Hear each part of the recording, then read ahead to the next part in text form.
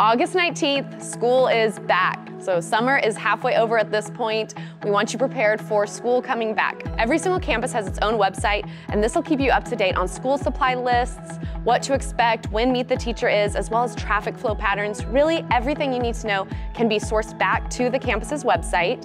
If you're unsure which campus your child's going to attend, you can reach out to the transportation department, which is linked in our blog. Another incredible resource for each campus is their Facebook page. These Facebook pages are a great way to communicate what's going on, when the events are, what traffic patterns you need to keep in mind for school drop-off and pickup. In addition to school starting, August 19th also means that the school zones are going to be starting. So for your commutes, make sure you factor this in and keep an eye out for all those kids commuting to school.